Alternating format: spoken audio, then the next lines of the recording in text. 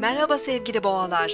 Başak Burcu Dolunay'ıyla birlikte yaratıcı çalışmalarınız, spor, sanatsal faaliyetleriniz, flörtler ve çocuklarınızla ilgili bazı kavramlarda önceden başladığınız girişimlerde sonuçlanmalar olabilir.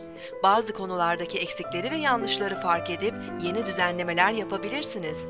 Duygusal hayatınızın canlanması ve romantizmin artması mümkün. Bugün 16 Mart 2014 Pazar, Güneş günündeyiz. Başak Burcu'ndaki ay Dolunay fazına doğru ilerliyor. Ay 19.07'de Güneş'le karşıt pozisyona gelecek ve 26 derece Başak Burcu'nda Dolunay gerçekleşecek. Başak Dolunay'ı iş, hizmet, çalışma, eğitim, sağlık konularında bazı farkındalıklar ve tamamlanmalar meydana getirebilir.